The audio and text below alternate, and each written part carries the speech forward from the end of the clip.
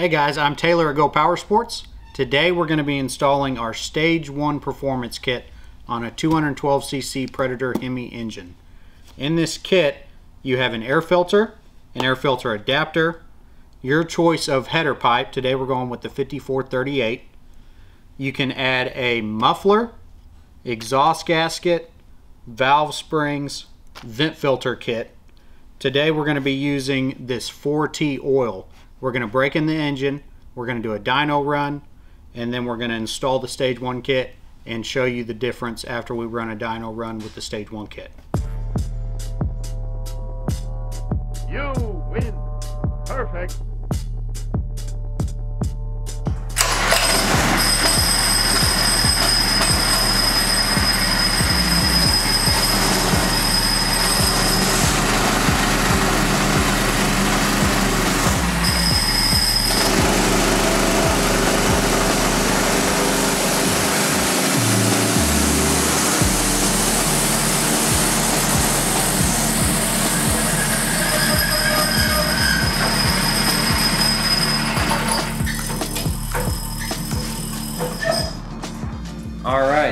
Dyno run, the uh, Predator 212 Hemi made its uh, peak torque at 3,400 RPMs and it was 12 foot-pounds of torque. And at 3,600 RPMs, it made 7.59 horsepower, right at about the 7, 7.5 claim that Predator makes.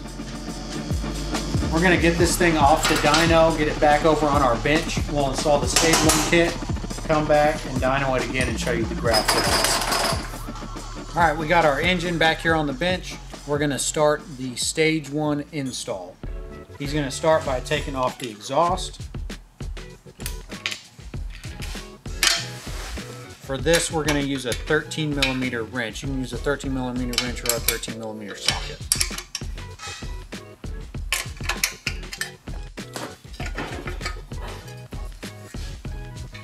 Next up is removing the air filter box.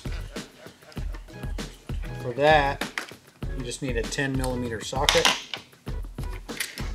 and impact or ratchet.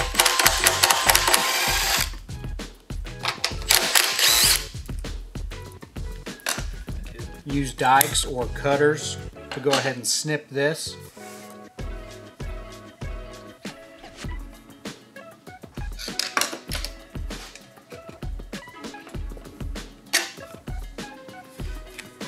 You'll want to take this hose off of the air filter box. You'll put that back on for the vent filter kit.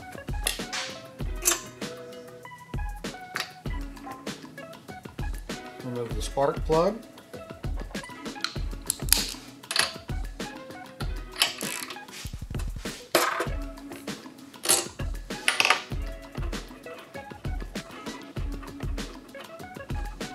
From here, he's going to drop the bowl of the carburetor using a 10 millimeter wrench or socket, and he will change out the main jet. In this stage one kit, the jets are taped to the side of the box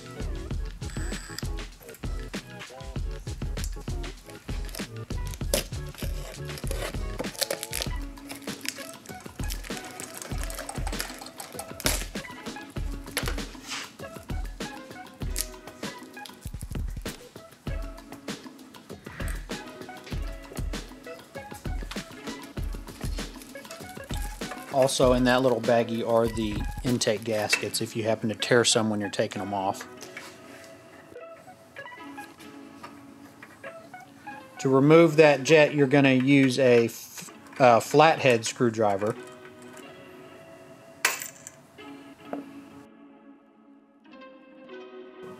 Yeah, the E-tube should just drop right out. Sometimes it stays up inside the carb.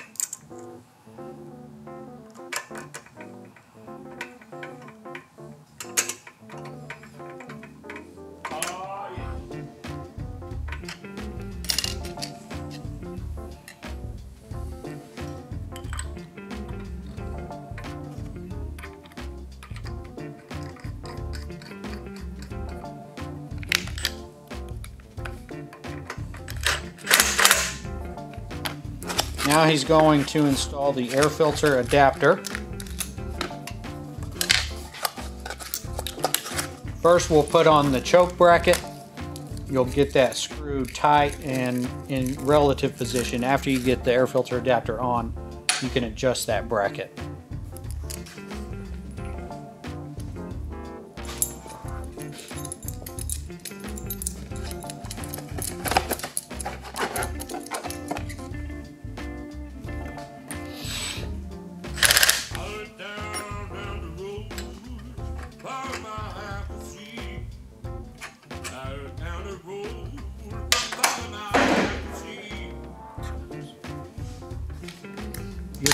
The stock nuts to put that air filter adapter on, and you will need a quarter inch drive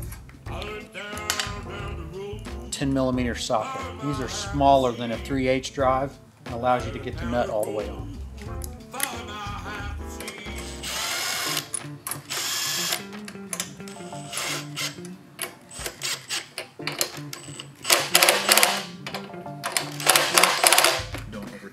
As you can see, as he installed that, he went back and forth between the two nuts to make sure he drew the air filter adapter on evenly.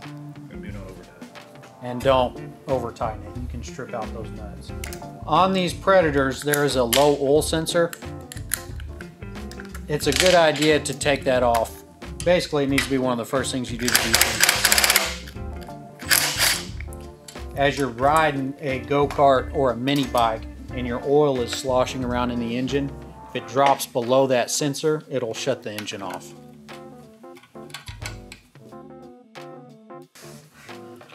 The yellow wire coming out of that sensor, you're going to clip it. Then you can unplug it and take off the whole box. And then I like to tighten. Just snug them up. Already tight. Now he's going to take off the valve cover. This is an 8 millimeter socket.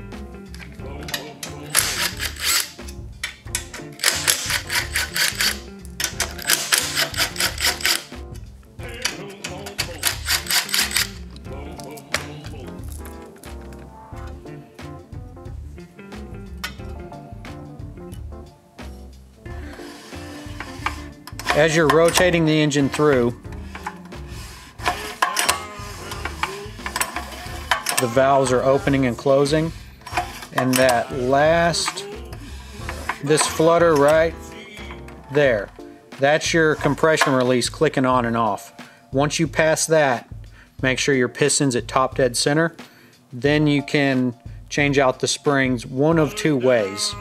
You can use an allen wrench to go in there and hold the valve closed. You can use an air compressor tool basically. It's a tool you screw in there, you hook up air to it, and it fills the chamber full of air and keeps the valves closed. Or you can take some starter rope, some string, you pack it down in there until it's tight, and that will hold the valves closed as well. He's going to use the Allen wrench method. That is a 9 millimeter wrench to bust the jam nuts loose.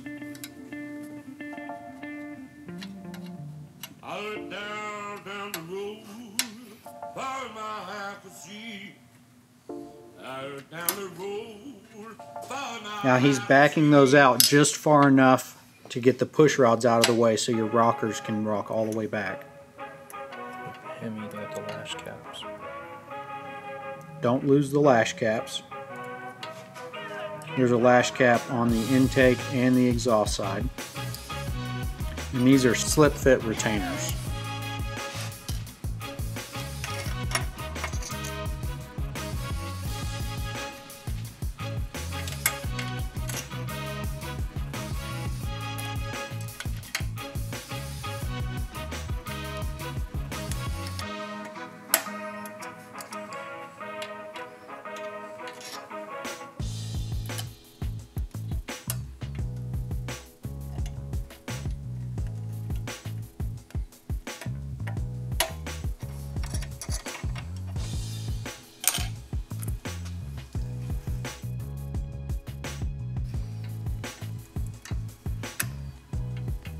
Going to put the lash caps back on.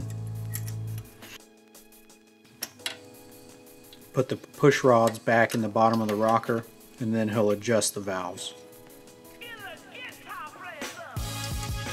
We're going to set these valves at zero lash. When you do this, you want to make sure after you get them set at zero that you can still spin the push rod free by hand and he's going to walk through that and show you.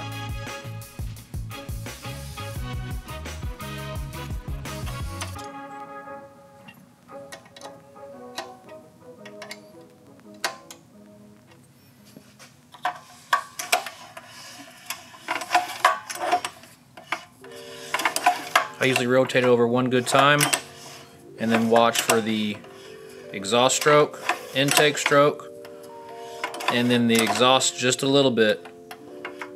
And then watch for the piston to come up all the way to the top. And that's when you make sure everything's set. Go down here with your fingers and just spin the uh, push rods. And if they spin freely, you know you set them right. And these are already, these are just jam style, so that's all you do. You can set them anywhere from zero lash all the way to three thousandths. If you set them at three, as your engine heats up and warms up, if you have to restart it, it, it tends to have quite a bit of kickback as you pull the rope. At zero, when the engine warms up, they'll loosen up to about two, one and a half, two thousandths.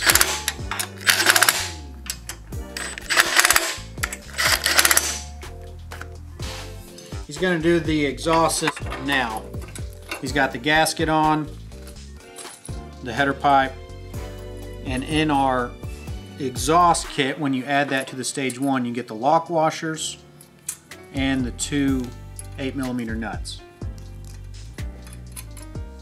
Again, he's going to use a 13 millimeter wrench.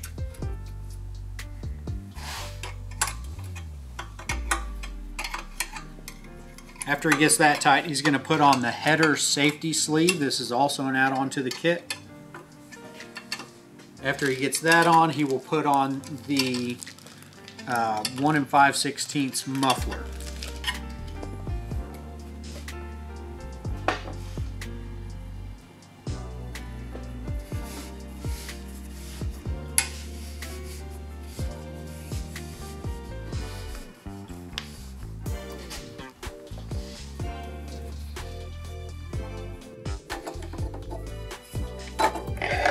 Going to use a 10 mil socket and ratchet to tighten up the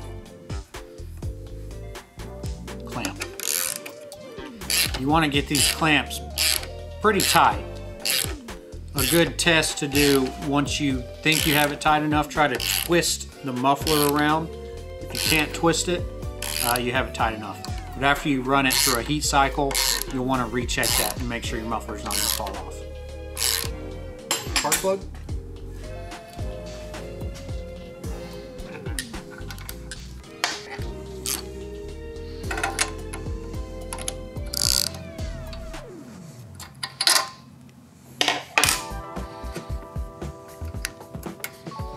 So we're gonna go ahead and back off this throttle stop screw. We were hitting about 4,000 RPM on the dyno. We're gonna back it out and see how high of an RPM it can get.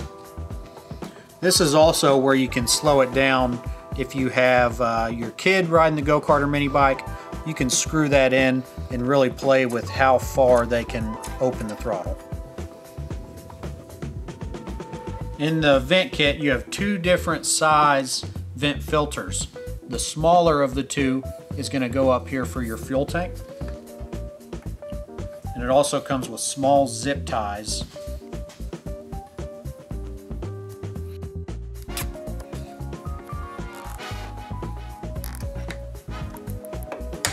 The larger of the two vent filters will get shimmed with the piece of supplied fuel line that fuel line will get shoved into the valve cover vent and then he'll install the whole assembly.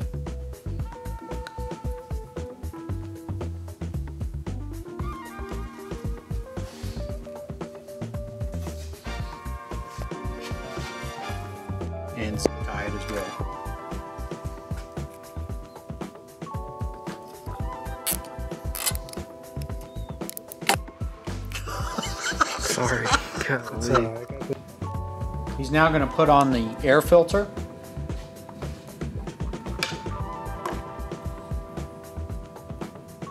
And tighten up the clamp with a Phillips head screwdriver. In the stage one kit, you have a choice of a few different colors. This is our black nylon filter cover. And the last thing he's gonna do to this engine is go ahead and swap turn the starter. For most go-karts and mini bikes, you wanna rotate this to the starter is back here so that you can access it.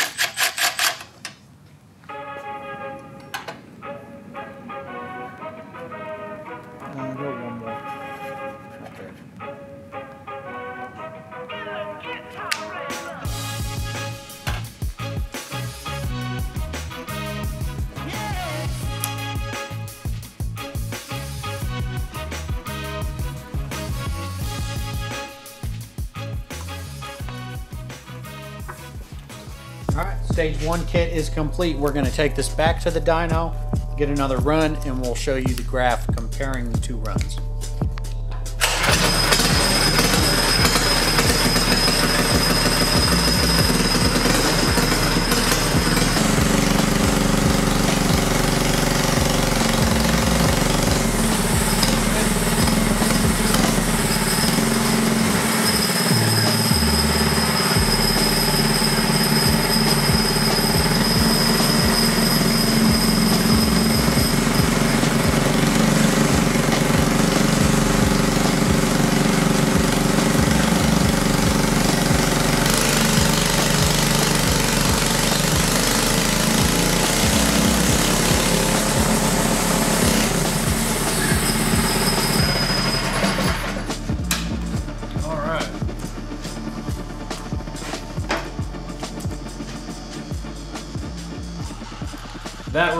We got uh, 3,600 RPMs was our max torque, uh, 13.83 foot-pounds of torque, and we got 9.75 horsepower, peak horsepower at 3,800 RPMs with the Stage 1 kit.